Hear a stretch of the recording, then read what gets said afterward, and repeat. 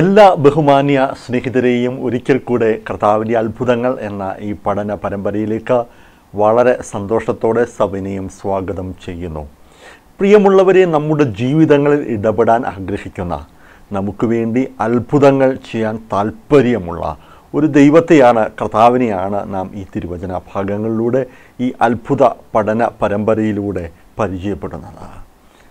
കർത്താവ് തന്റെ പരസ്യ ശുശ്രൂഷ ഏതൊക്കെ അത്ഭുതങ്ങൾ ചെയ്തോ അതേ അത്ഭുതങ്ങൾ നമ്മുടെ ജീവിതത്തിലും ചെയ്യുവാൻ കർത്താവിന് മനസ്സാണ്. മാത്രമല്ല ഓരോ അത്ഭുതങ്ങളുടെ പിന്നിലും അടങ്ങിയിരിക്കുന്ന ആഴമേറിയ ആത്മീക സത്യങ്ങൾ കർത്താവ് നമ്മോട് പറഞ്ഞു തരുന്നുണ്ട്. ആ സത്യങ്ങളിലേക്ക് പ്രവേശിക്കുവാൻ ദൈവമായ കർത്താവ് നമ്മെ ബലപ്പെടുത്തട്ടെ. ഇന്നത്തെ നമ്മുടെ ചിന്തയ്ക്ക് ആധാരമായി മർക്കോസിന്റെ സുവിശേഷം എട്ടാം അധ്യായത്തിന്റെ ഇരുപത്തിരണ്ട് മുതൽ ഇരുപത്തിയാറ് വരെയുള്ള വാക്യങ്ങൾ നമുക്ക് വായിക്കാം. അവർ ബത്സൈദയിൽ എത്തിയപ്പോൾ ഒരു കുരുടനെ അവന്റെ അടുക്കൽ കൊണ്ടുവന്ന് അവനെ തൊടയണമെന്ന് അപേക്ഷിച്ചു. അവൻ കുരുടന്റെ കൈക്ക് പിടിച്ച് അവനെ ഊരിന് പുറത്തു കൊണ്ടുപോയി. അവന്റെ കണ്ണിൽ തുപ്പി അവന്റെ മേൽ കൈവച്ച് നീ വല്ലതും കാണുന്നുണ്ടോ എന്ന് ചോദിച്ചു. അവൻ മേൽപോട്ട് നോക്കി ഞാൻ മനുഷ്യരെ കാണുന്നു അവർ നടക്കുന്നത് മരങ്ങൾ പോലെയത്രേ കാണുന്നത് എന്ന് പറഞ്ഞു. പിന്നെയും അവന്റെ കണ്ണിന്മേൽ കൈവച്ചാറെ അവൻ സൗഖ്യം പ്രാപിച്ചു. മിഴിച്ചു നോക്കി എല്ലാം സ്പഷ്ടമായി കണ്ടു. നീ ഊരിൽ കടക്ക പോലും അരുത് എന്ന് അവൻ പറഞ്ഞ് അവനെ വീട്ടിലേക്ക് അയച്ചു. പ്രിയമുള്ളവരെ കർത്താവ് ചെയ്ത അനുഗ്രഹീതമായ ഒരു അത്ഭുതം ബസ്സൈദയിലെ കുരുടന് കാഴ്ച നൽകുന്ന അനുഗ്രഹീതമായ ഒരു അത്ഭുതമാണ് നാം ഇന്ന് പഠന വിധേയമാക്കുന്നത്.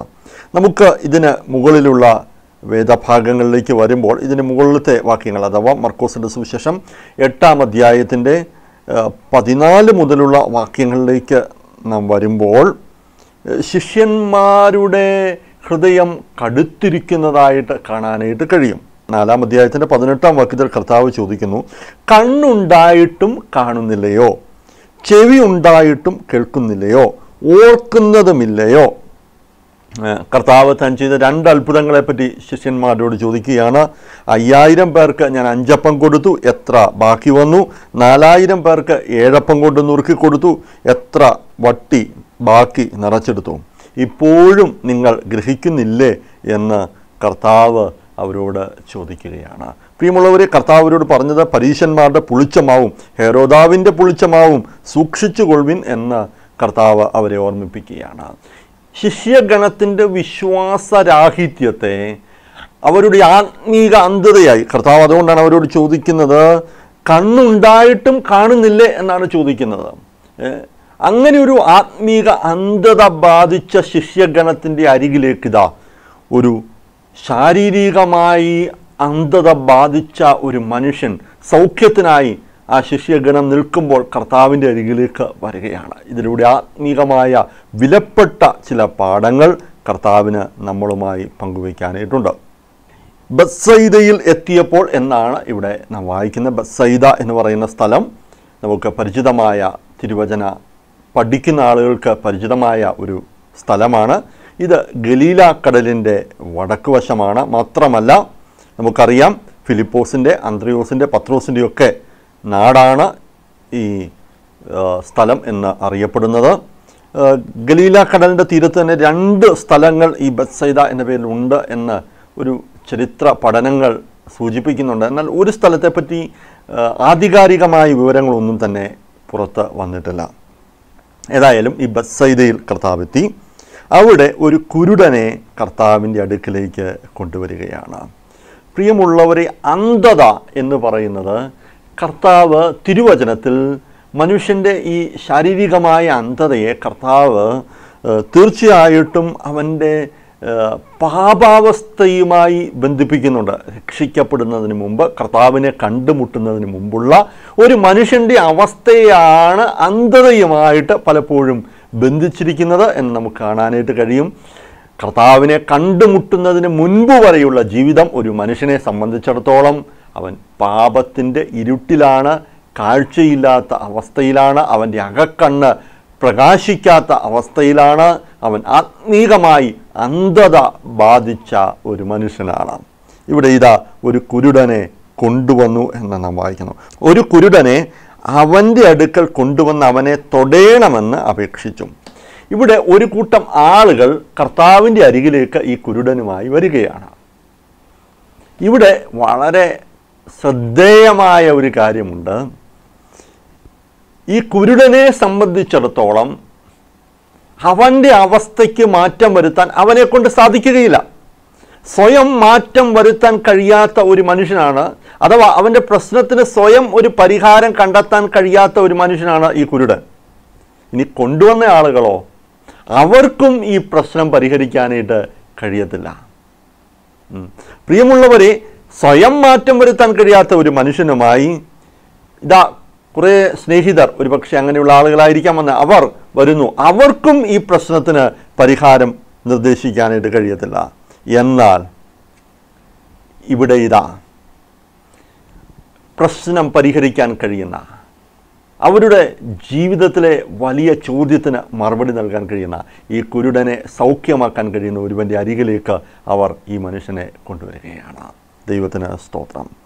രണ്ടാമതായി നാം കാണുന്നത് അവരപേക്ഷിക്കുന്ന കാര്യം കർത്താവ് നീ അവനെ ഒന്ന് സ്പർശിക്കണം എന്നുള്ളതാണ്. കർത്താവ് ചെയ്ത കാര്യം അവൻ കുരുടന്റെ കൈക്ക് പിടിച്ച് അവനെ ഊരിന് പുറത്തു കൊണ്ടുപോയി എന്ന് നമുക്ക് കാണാനായിട്ട് സാധിക്കും. മാത്രമല്ല അവന്റെ കണ്ണിൽ തുപ്പി അവന്റെ മേൽ കൈവച്ചു എന്ന് നാം കാണുന്നുണ്ട് കർത്താവ് ഒരു പ്രത്യേകമായ നിലയിലാണ് ഈ മനുഷ്യനെ സൗഖ്യമാക്കുന്നത്. കഴിഞ്ഞ ആഴ്ച നാം ചിന്തിച്ചത് ബദിരനും മൂകനുമായ ഒരു മനുഷ്യനെ കർത്താവ് സൗഖ്യമാക്കി. അപ്പോഴും കർത്താവ് ഇതേ മാർഗം സ്വീകരിക്കുന്നതായിട്ട് നമുക്ക് കാണാനായിട്ട് കഴിയും. പ്രിയമുള്ളവരെ കർത്താവ് പരമാധികാരിയായ സൗഖ്യദായകനായ സകലത്തിന്റെ മേലും അധികാരമുള്ള കർത്താവാണ്. കർത്താവിന് സൗഖ്യമാക്കുവാൻ തന്റേതായ മാർഗമുണ്ട്.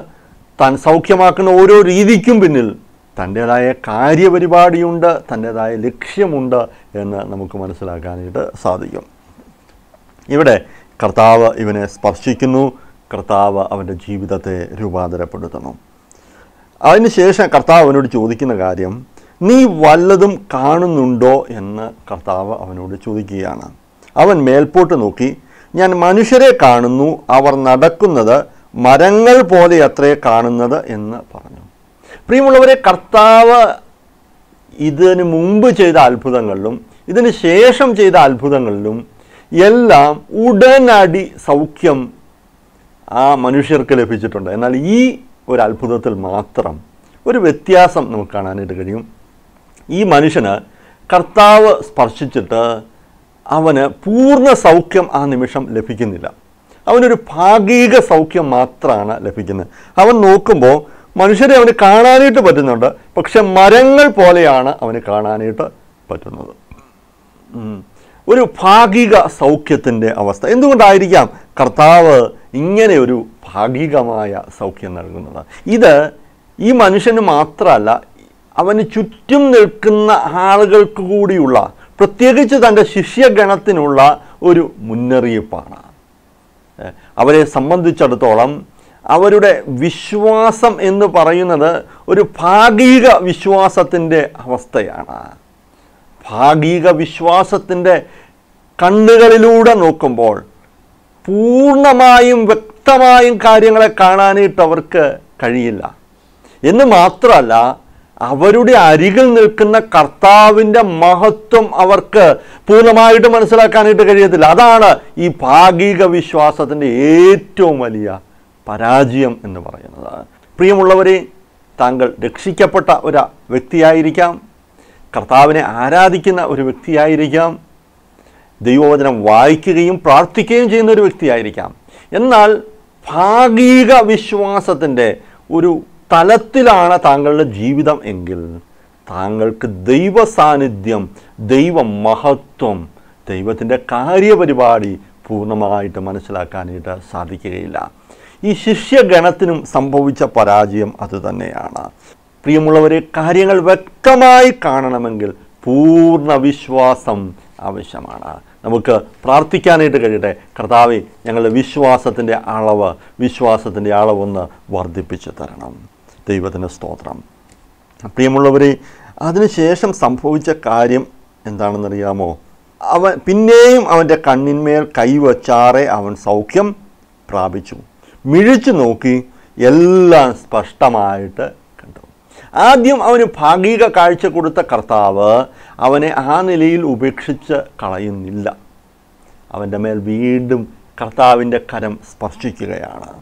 അവന് പൂർണ സൗഖ്യം ലഭിച്ചു എന്ന് മാത്രമല്ല അവിടെ നാം വായിക്കുന്നത് അവൻ സ്പഷ്ടമായിട്ട് കാര്യങ്ങളൊക്കെ കണ്ടു എന്നുള്ളതാണ്. നമ്മുടെ ജീവിതത്തിലും ഈ കാഴ്ചയാണ് ഇന്നിന്റെ ഏറ്റവും വലിയ ആവശ്യം. പ്രിയമുള്ളവരെ ആ കാഴ്ച ലഭിക്കാതെ പോയാൽ അത് നമ്മുടെ ജീവിതത്തിലെ ഏറ്റവും ദൗർഭാഗ്യകരമായ ദുഃഖകരമായ ഒരു അവസ്ഥയാണ്.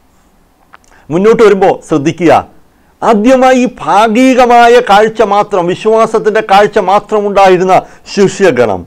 മുന്നോട്ട് വരുമ്പോൾ പത്രോസ് ജീവിതത്തിലെ ഒരു ഏറ്റുപറച്ചിൽ നമുക്ക് കാണാനായിട്ട് കഴിയും.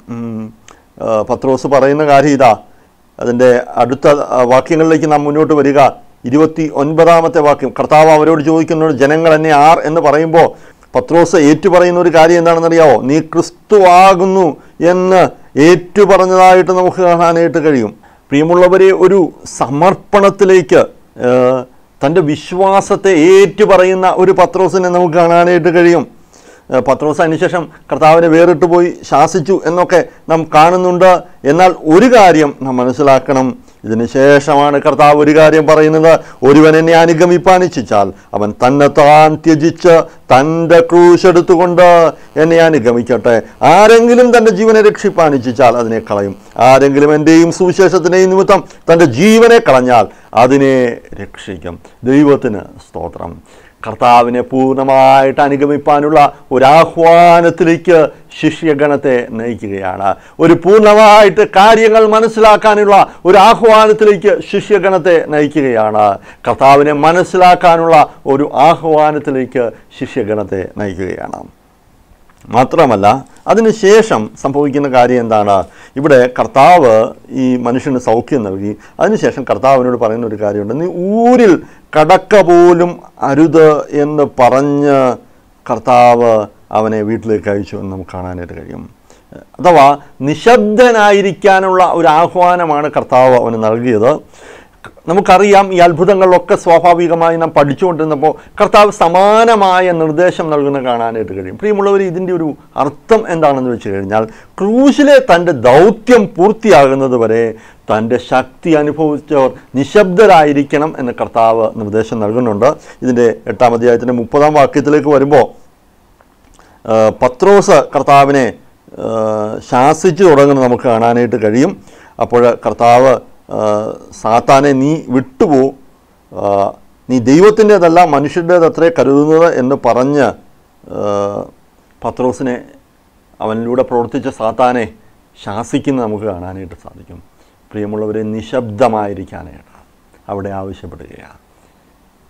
ആ ഒരു പ്രത്യേകമായ ഘട്ടം കഴിഞ്ഞ കർത്താവിന്റെ ക്രൂശീകരണത്തിന് ശേഷം കർത്താവിന്റെ പുനരുത്ഥാനത്തിന് ശേഷം ശക്തി ലഭിച്ച ശിഷ്യഗണത്തിന് നൽകിയ മഹാനിയോഗം സർവ ലോകത്തും ഭൂമിയുടെ അറ്റത്തോളം പോയി കർത്താവിന്റെ സാക്ഷികളായിരിക്കുക എന്നുള്ളതാണ്.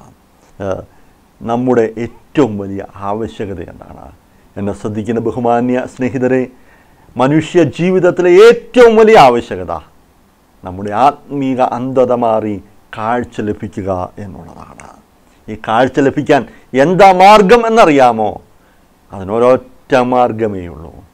രണ്ടായിരം വർഷങ്ങൾക്ക് മുൻപ് നിങ്ങളെ സ്നേഹിച്ച എന്നെ സ്നേഹിച്ച നമ്മെ അന്വേഷിച്ച് ഇറങ്ങി വന്ന കാൽവറിയിലെ ക്രൂശിൽ നമ്മുടെ പാപത്തിന്റെ ഏറ്റവും ഭയാനകമായ അന്ധത ഇരുട്ട് കാൽവറിയിലെ ക്രൂശിലേറ്റെടുത്ത അരുമനാഥൻ കാൽവറിയിലെ ക്രൂശിലേക്ക് നിങ്ങളൊന്ന് ശ്രദ്ധിച്ച് നോക്കുക.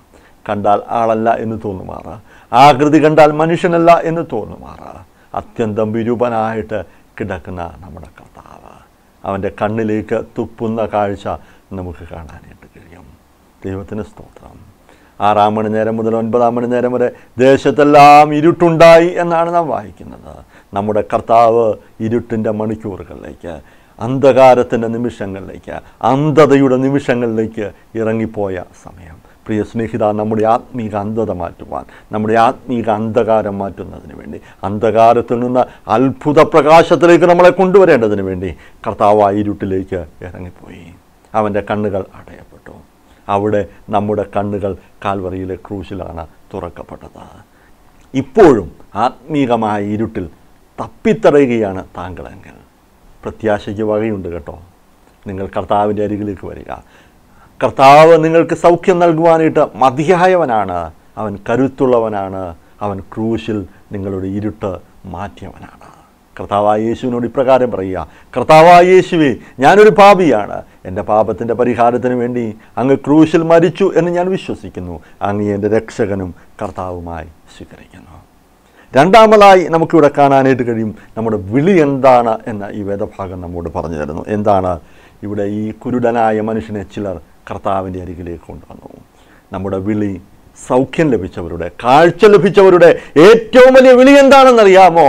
മറ്റുള്ളവർക്കും ഈ കാഴ്ചയുടെ സുവാർത്ത പറഞ്ഞു കൊടുക്കുക എന്നുള്ളതാണ് ഇരുട്ടിൽ നിന്ന് അന്ധകാരത്തിൽ നിന്ന് അത്ഭുത പ്രകാശത്തിലേക്ക് നമ്മെ വിളിച്ചവന്റെ സൽഗുണങ്ങളെ ഘോഷിപ്പാനായിട്ട് നാം തിരഞ്ഞെടുക്കപ്പെട്ട ജാതിയാണ് രാജകീയ പുരോഹിത വർഗമാണ്.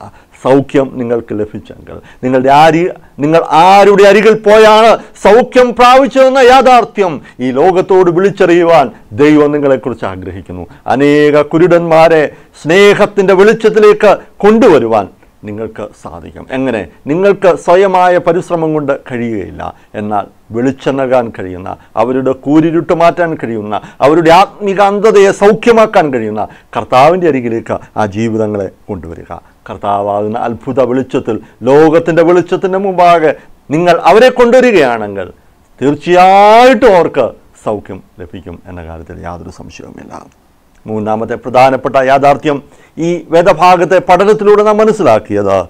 നമ്മുടെ കാഴ്ചയുടെ ഒരു ലഭിക്കുന്ന നമ്മുടെ നമുക്ക് മൂന്നാമതായി നാം ഈ വേദഭാഗത്ത് നിന്ന് മനസ്സിലാക്കിയ ആത്മീക സത്യം എന്താണെന്നറിയാമോ നമ്മുടെ കാഴ്ച ഒരു പൂർണ സ്പഷ്ടതയിലേക്ക് വരുന്ന ഒരു പ്രക്രിയയെ പറ്റിയാണ്. നാം രക്ഷിക്കപ്പെട്ടവരായാണ് കർത്താവിനെ ആരാധിക്കുന്നവരും കർത്താവിനെ പ്രാർത്ഥിക്കുന്നവരും ദൈവവചനം വായിക്കുന്നവരും ഒക്കെയാണ്. എന്നാൽ കർത്താവിനെ കാണാൻ സ്പഷ്ടമായിട്ട് കാണാൻ കർത്താവിനെ വ്യക്തമായി ആഴത്തിൽ സ്നേഹിക്കുവാൻ കർത്താവിൽ പൂർണമായിട്ട് ആശ്രയിക്കാൻ കഴിയുന്ന ഒരാത്മീക വളർച്ചയിലേക്ക് ഭാഗിക വിശ്വാസത്തിൽ നിന്നും പൂർണ വിശ്വാസത്തിന്റെ ഒരു തലത്തിലേക്ക് വളരുവാൻ ദൈവത്തിന്റെ പരിശുദ്ധാത്മാവ് താങ്കളെയും എന്നെയും ക്ഷണിക്കുന്നു. പ്രിയമുള്ളവരെ ഈ ഭാഗിക വിശ്വാസം ഒരു വിശ്വാസമേ അല്ല എന്ന തിരിച്ചറിവോടുകൂടെ നമുക്ക് പൂർണ വിശ്വാസത്തോടെ കർത്താവിന്റെ അരികിലേക്ക് വരാം.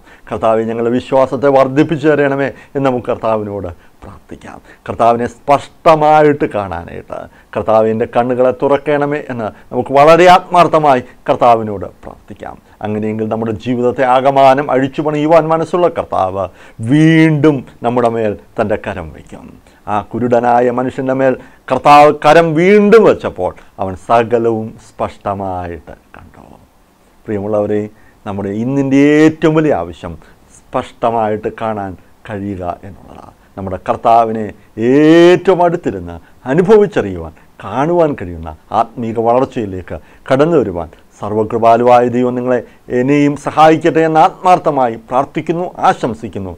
ഈ അത്ഭുതങ്ങളെക്കുറിച്ചുള്ള പഠന പരമ്പരയിൽ ഒപ്പം നിൽക്കുന്ന എല്ലാവർക്കും എല്ലാ ബഹുമാന്യ പ്രേക്ഷകർക്കും ഒരിക്കൽ കൂടെ ദൈവനാമത്തിൽ നന്ദി പറയുന്നു. കർത്താവ് സമൃദ്ധമായ നന്മകളാൽ കർത്താവ് നിങ്ങളെ അനുഗ്രഹിക്കട്ടെ എന്ന് പ്രാർത്ഥിക്കുന്നു നിങ്ങളുടെ ജീവിതത്തിലും. കർത്താവിന്റെ എല്ലാ അത്ഭുതങ്ങളും നിങ്ങൾക്കും സ്വന്തമാക്കുവാൻ ഇടയായിത്തീരട്ടെ. ദൈവനാമം മഹത്വപ്പെടുമാറാകട്ടെ.